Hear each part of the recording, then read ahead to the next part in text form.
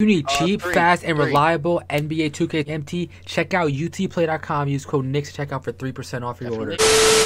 Okay, 2K21 um uh, lo- locker codes. Who wants it? And yes, I'm giving it away.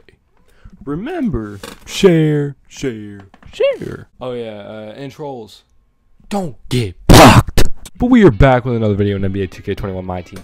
Today we are here with some more locker codes for you. I think there are more locker codes than there were last week, which is pretty nice. I mean, there's not really much. We're gonna get right into it though. If you guys are new to the channel, want to see some more videos like this, sure leave a like, subscribe. You already know. Start off with the very first ones, as always. My Team Community Hub. You put this code in right here, you'll get one token, a shoe pack, a basketball pack, or a contract pack. It does not expire. Doesn't matter what season it is. Uh, just go put that code in when right there. You put this code in right here, you get an Emerald Michael Jordan. Uh, it's guaranteed.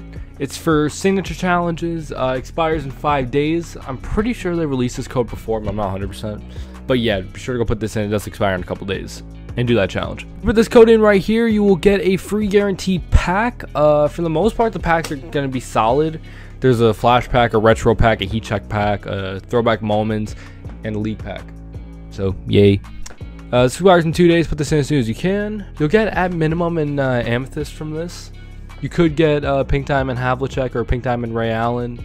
Uh, if you have the free Ray Allen, you don't really want this. So uh, yeah, I mean, just go, go for whatever you want, I guess. And finally, a code I didn't even put in yet. Uh, if you put this code in right here, you could get an Idols Kevin Garnett pack for a shot at a Dark Matter Kevin Garnett, or you can get a badge pack or tokens. Expires in five days. And I don't know. I guess that's pretty much it. But uh, yeah, thank you guys so much for watching. Uh, you already know if you did enjoy today's video and want to see some more, like, be sure to leave a like, subscribe if you haven't already.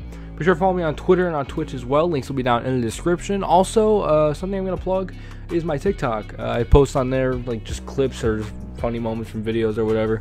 So uh, yeah, be sure to go uh, drop a follow there. And uh, yeah, it's gonna be it for me. Thank you guys so much for watching. I'll see you all in the next video. Peace, peace.